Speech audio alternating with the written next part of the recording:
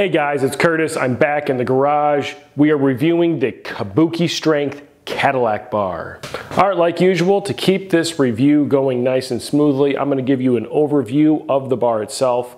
We're gonna talk a lot about the construction of the bar, a lot of my notes from using this thing in training for the past few weeks, and I'm gonna also bring up and give you guys some other options that are out there in the gym shopping universe. But before we get into all of that, I wanna go over the overview of the bar itself. What is the Kabuki Kadillac bar?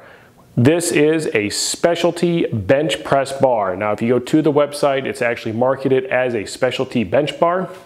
What makes it specialty for bench is this curved shape, as well as all these handles that are positioned at different angles throughout. Specifically, this barbell is an arched type Swiss or football bar.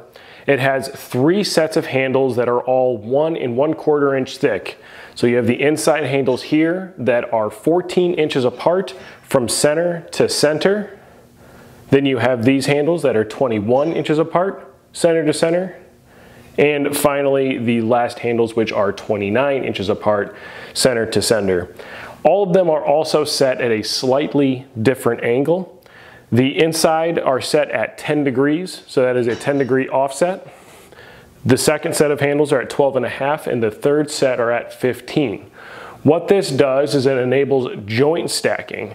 According to the Kabuki website, that is the whole point of using this type of bar, which is why they wanted their bar to have those particular angles. Now, as for how you feel about joint stacking, I'm not going to talk as to whether it is effective or ineffective because honestly, I'm not really educated in that way and I can't give you uh, like a for sure thing. However, there is a lot of science and a lot of research that went into the development of this bar and I will link the bar down below and if you watch there's several videos in there a couple with Kelly Starrett and then of course some with the mad scientist Chris Duffin himself where he talks a little bit about how this was designed and talks about joint stacking specifically. Now getting straight into the construction itself, these handles are not a knurled handle, which honestly I'm not too concerned about because they do have a very nice gritty powder coat. It's the same powder coat from the handles all the way through the handle assembly. Now if you feel like knurling is something that's super important to you, which is fine because it says all comes down to personal preference anyways, then you can take a couple of different options. One, you can explore other options because this again is not knurled, or you can do some things like some other people do on Instagram, and I'll post a picture of Efren Lefts, I'm sorry, Efren Lifts uh, Kadillac bar that he customized here. So if you really want to take an expensive barbell and sink even more money into it, you can do that. The sleeve.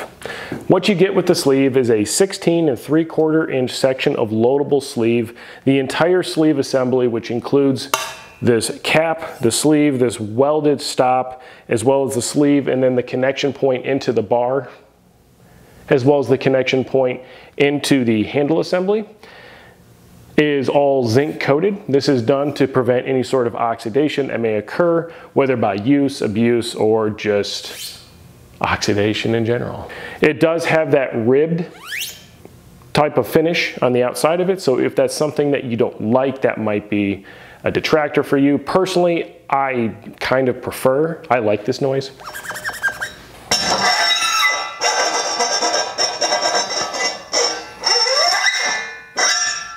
So for me, it's not a really big deal but you do end up with 16 and 3 quarter inches of loadable sleeve length, which is tons and tons of sleeve length. And realistically, even if using bumpers, I really don't think that most people are gonna run into an issue where they're running out of sleeve to load plates on. As I mentioned before, you do have to attach the sleeves when they come in. If you haven't watched the assembly video that I made on this bar, you can click up here and it'll bring you straight to that video and you can watch it for yourself. I do have the new version of this where it is the shorter bolts it's four of them right here. The older version of this barbell had a bolt that went through both this flange as well as this flange here with a solid bolt that connected it. I don't know why they made this particular switch. Maybe they just didn't find that it added all that much stability to the bar as the sleeve does come all the way through and into and through this second flange right here. But this is the newer version. In my opinion, it looks a little bit cleaner and I'm a fan of it. There's really no problems with it. Uh, A little note as well is I do have the blemish version of this barbell. I got it on sale. Big shout out to Matt Pendergraph for posting the sale when it came up. But I got this for free shipping, plus it was blemish. And the only blemishes are actually on the bottom of these sleeves. And the best part about those blemishes is that I've already worn the bar down so much that you don't even notice that there's a blemish anymore. Now the construction of the handle assembly, I don't know what to call it other than a handle assembly, uh, but basically when I say that, I'm talking about this frame going all the way around that contains these handles. Uh, these actually spec out to be seven inches wide, so that is from the top to the bottom is seven inches. This is actually a big benefit in my opinion because it's not too big that it gets in the way for certain movements. Just for size comparison's sake, this is the Rogue, which specs out to be 10 inches wide, and this is the Kabuki, which is 7. One of my biggest critiques of the Rogue bar is that because it's so wide, when you use it to do movements like the row, it tends to put the bar so close to you because it's three inches wider. That's an inch and a half closer to your body. So you end up with a position where the load isn't really over your midfoot. With this seven inch bar, doing bent over rows is a little bit simpler and a little bit better. That seven inches doesn't cause any other issues as well though, as far as having small or large hands. I have had some people over here and use this bar that have mammoth like lumberjack style hands and getting in and gripping this has not been an issue at all. I would say that the seven inch thickness is actually very appropriate for this type of barbell. The bar is also seven inches tall from the bottom if you were to draw an invisible line going all the way across to the top. Now that doesn't mean that it's a seven inch rise for your handles. What that means is that there's a seven inch difference between here and the top of the bar. This really doesn't impact too much as far as movements are concerned or functionality, but one thing you may want to consider is that because it is such a difference, you may encounter some issues with storage. For me, I use wall storage and what I found is that basically this bar takes up two positions on what would probably be a normal gun rack. Of course, I'm using my French cleat system and I'm able to store it on another wall and storage space isn't really a problem for me right now but just something to keep in mind. What the seven inches does give you though is a three and a half inch difference from basically the bottom of the frame here to the bottom of the frame here. That is enough to increase your range of motion by about three and a half inches on all movements, which is a very good and distinct advantage that this barbell offers over any of its straight competitors. The bar is 87 inches wide just by itself, which is a little bit longer than your typical barbell, but that is a good thing because again, you get tons of loadable sleeve length, uh, plus, you're getting this very wide range of racks that this thing can fit in. On the website, it claims that this thing can easily fit in the rack from anything from a 41 inch, sorry, 41 and a half inch to a 54 inch width. And again, that has everything to do with this amount of space you get to rack the bar. One other very nice thing is that this thing comes out to 20 kilograms total weight or about 45 pounds. So if you're used to normal bar math, this bar will not change your bar math.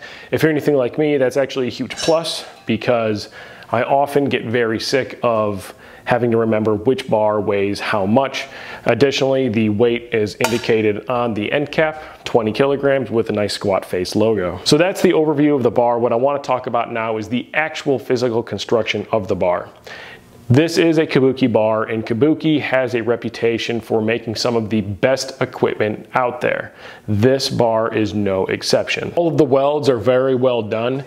The assembly itself, you can actually tell from the welding is a cut and then they actually cut notches for these flanges here and then the notches go through and then they are welded on the outside. So as far as welds and construction are concerned, this thing is pretty much flawless. And I would like to say that it's flawless even though this is technically a blemish bar. Again, the blemish was in the zinc coating only. All of the handles are perfectly centered. And what I mean by that is basically from the bottom of this to the top of this, the handle is centered dead set right in the middle. Additionally, I did go through and I threw my protractor on all of these handles. All of them spec out to exactly the 10, 12, and 15 degree angle that they claim to be at. The actual powder coat finish is a very rough powder coat. It's uh, and by rough, I mean it's gritty. It's actually very well done. It's just a gritty powder coat. It's the same between the handles and the frame, which I actually really like. I don't mind this powder coat at all. And inside of the handle assembly itself, we have this X. Now, one of the big differences Again, the big difference is with this version being that these are short screws, not through bolts. The other difference is that this X portion in the middle is actually flush with the bottom of the bar. The older version of this bar actually had this somewhat up, about in the middle up. And I don't know why they changed it, but I would like to point out that the Kabuki cutout that's in the frame here, which is also very clean and very precise, uh, would have been impacted by this X had the X been halfway up. Additionally, the X no longer comes with the hole in the center. The reason for that is because Kabuki found that people were using this bar for things that it wasn't really designed to be used for and they were putting a lot of load on the center support piece. What people were doing is they were using an eye bolt or other some sort of other connection piece and they were connecting this to like a cable machine to try to give yourself a multi-grip like lat pull down cable attachment. What Kabuki actually designed that hole to be used for was for doing the powder coat finish in a way to hang the bar during powder coat. They then developed a different way to actually finish the powder coat process that didn't involve the hole in the middle so that we couldn't misuse the bar. But I would again like to say that this powder coat finish is very nice. It is very grippy and in my opinion negates the need for any knurling on the handles. I would actually tie this as far as like a grippy powder coat is concerned. This in my book ties exactly with the Mike Bartos Power Center grippy powder coat. Uh, and it's actually withstood the test of time and I cleaned the bar just for this review and it actually cleaned up really nicely. So no complaints on powder coat. One other small detail that I actually really enjoyed as well is that the end caps are not hollow end caps. And this is just one of those little things that really just kind of irks me from a fabrication and a finishing standpoint. What I like is how Kabuki did their squat face logo. It says Kadillac bar and then indicates the weight right there on the end of the sleeve. So now that we've talked about the construction of the bar, what I wanted to move on to was some of my training notes from using this bar. Right off the bat, we're gonna touch on the design of the bar. Like I said earlier, please do go to the Kabuki website and watch the videos that Chris Duffin and Kelly Starrett have on this product. This bar does create a certain level of stability with the bench press movement specifically. The way that they're able to do this is because the center of the load comes through right here and all of the handles are actually higher than the load. What this does is allows the bar to actually sit for, like allows the weight to sit down below your hands. So if you do grab this bar just a little bit off center, which is highly improbable because it's really not that big compared to other cheaper versions of this bar that are flat, talking about you Rogue. Now, one of the things that you'll have to get used to with the angled handles is remembering to put the bar in the rack in the correct direction. Generally speaking, this is going to be with the Kabuki laser cut branding facing out. Of course, that's where we all take our video, so that's where Kabuki puts their logo.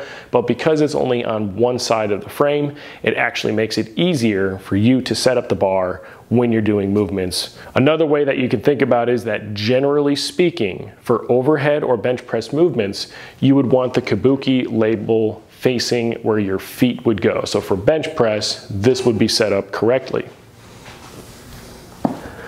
For overhead press, because my feet are pointing this way, I want the logo out that way as well. And this is what drives my handles into the correct position for the overhead press. Now, one area that it's difficult to get tied up in is thinking that this is only a bench press bar. So what I'm gonna do is I'm going to start with the bar up as high as I can in my yoke, and I'm gonna take you through some additional movements that you can do to include bench press. The first movement that we're gonna do is a pull-up. What this is mimicking is having a bar, a pull-up bar specifically, mounted in your rack that has these neutral grips. Obviously these ones are slightly angled, but the first thing that you'll wanna do if you wanna do chin-ups is make sure that the handles are pointed down. You don't want the arch up because if you have the arch up, you're basically doing the opposite where you're putting the load above the pivot point, which is gonna cause some potential issues as you start to twist down. So rotate the bar so it's upside down. Again, the logo should be facing where your toes are pointing, generally speaking. So logo away. You can do a pull-up. You can do them with all three grips.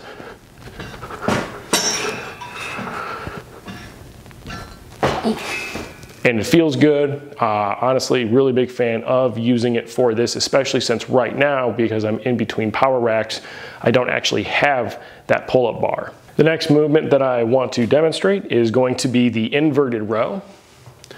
The same rules apply for as far as which way the laser cut logo should be pointed. And additionally, because you are the weight that's hanging on the bar, you'll wanna make sure that it's flipped upside down. Again, pull it into the rack.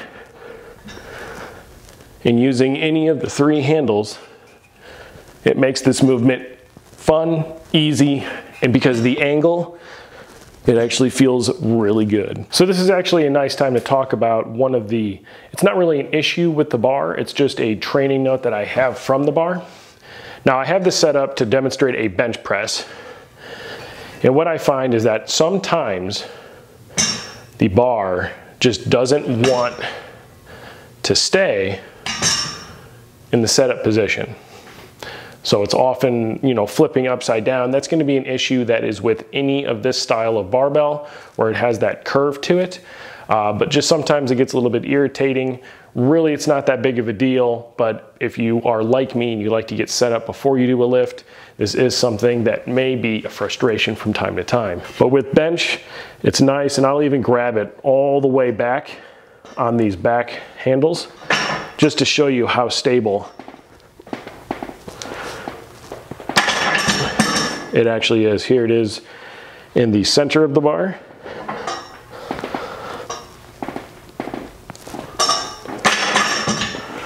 And then of course all handles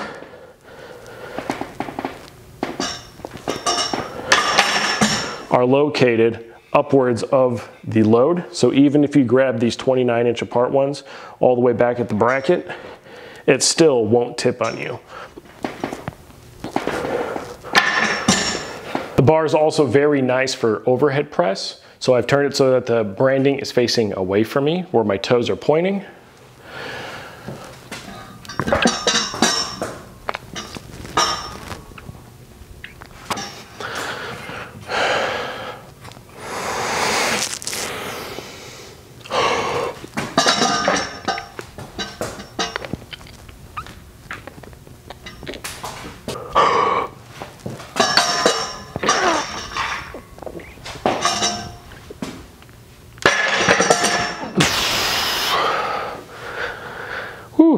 That 29 inch apart one is definitely, I probably should have warmed up.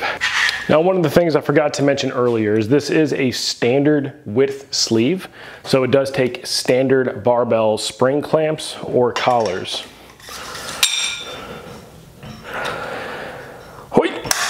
Now I'm about to do a barbell curl using this. I'm gonna be using the uh, inside two handles, the outside really uh, in my opinion, isn't that functional for this. But this still is the same way where basically the direction that my toes are pointing is the way that the Kabuki logo is facing. Additionally, when you start with a curl, you want to start with the bar upside down. So with a curl, it's nice because you have those slightly angled handles. So it is like a hammer curl, but it still gives you some slight outward pronation.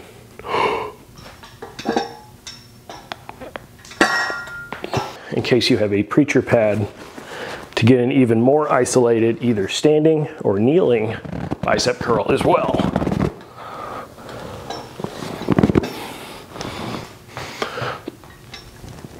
Additionally, you can do tricep extensions.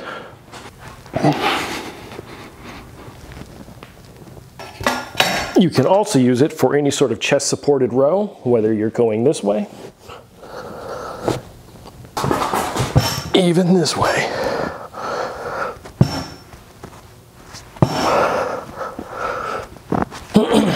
you can even use it to do a decreased range of motion bench, where normally you would get an increased range of motion. You can use this to mimic something like a board press simply by turning the bar around in the rack and upside down. You'll notice the Kabuki logo is still facing out. Now, it wouldn't be fair to talk about this bar if we didn't also talk about the price. Obviously, we looked at the overview, the construction of the bar, what makes it up, all the research that went into the different handle angles. And again, go to the website and check it out. There's tons of science that's actually behind it. However, all of that comes at a premium price. Now this particular bar, the way that I purchased it, I got really lucky and again, a big thanks to fellow garage gym owners that gave a shout out and actually led me to getting this bar for the price I got it for. I ended up getting it for $450 shipped to me here in Ohio all the way from Portland. However, if you were to go buy one on the website today, full price, you're gonna end up paying $499 plus a $75 shipping charge if you're shipping to Ohio. That makes this bar pretty much the most expensive bar of its type on the market. However, you are getting an absolutely excellent and well thought out barbell for that money. Now you can get it on blemish and blemish will usually cause it to ship faster because the barbell has already been made and the shipping rate is going to be the same However, it is going to be slightly blemished. But again, mine was a blemish bar and I have absolutely zero complaints about the blemish that it came with. For that money, you are getting probably the best. I would say that it's arguably the best specialty bench football Swiss type barbell that's out on the market right now. You're getting an American made product and international orders are possible, but obviously that's gonna come at a very increased shipping rate. Now on their shipping rates, I jumped on the website actually earlier today. Today is the 12th of October. And what I found was that Kabuki must have done something different with their shipping because a lot of their shipping prices for me here in Ohio have actually gone down pretty significantly. But $499 plus $75 shipping may be way outside of your budget. And so what I wanted to do was offer a couple other companies. And of course, the first one that we have to talk about is Titan Fitness. Titan Fitness offers a bar, it's right here. It looks very similar to the Elite FTS style of this barbell, but you're getting a non-American made $199 plus free shipping barbell. Now, I haven't had that particular Titan bar, but I have had other Titan multi-grip bars, and I can tell you that they're definitely not finished as nice, but they are solid. Some other big differences is that the handles are actually only angled on the two middle handles and the other handles are actually just straight handles. Additionally, the powder coat is gonna be a little bit slicker. It's not gonna be as nice of a bar. You're gonna have spottier welds, typically speaking you're getting at a significantly better price. Another company I'd like to feature is Black Widow Training Gear. So Black Widow Training Gear is a small New York based company. They have their cambered Swiss bar. It's $300 plus $48 shipping to me from New York.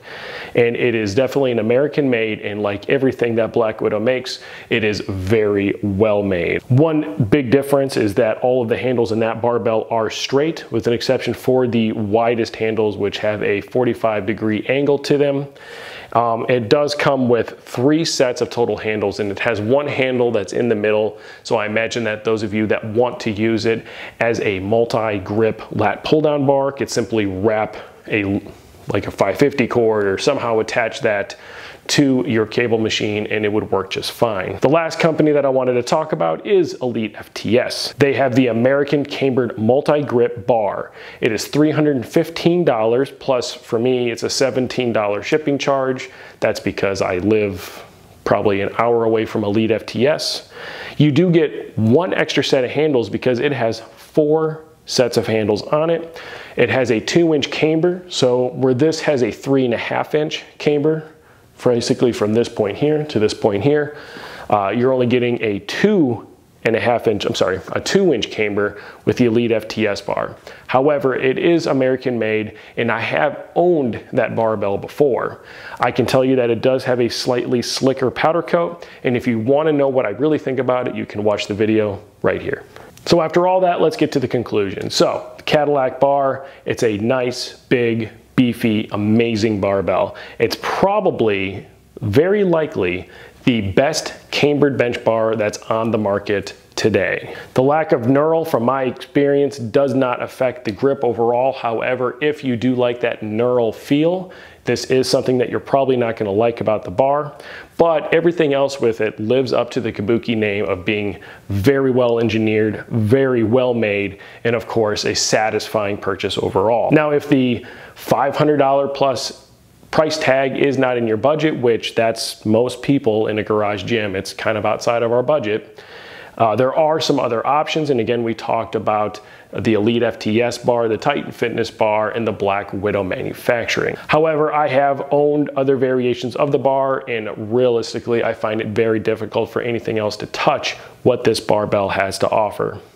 It's definitely not a bar that you're gonna buy as like your very first barbell, but as you collect in your garage gym journey and you continue to buy new pieces of equipment, a barbell like this may be something that very quickly becomes something that you desire to have. But that's been my review of the Kabuki Kadillac bar. Again, I think it's a wonderful bar. I think it's super well made but I do think that the price tag is what's going to make it a little bit not desirable for most garage gym owners. But tell me what you guys think below. I appreciate each and every single one of you guys that watch these videos and remember that when it comes to your garage gym equipment, you should always keep it better, awesome, and of course, badass. I'll see you next time.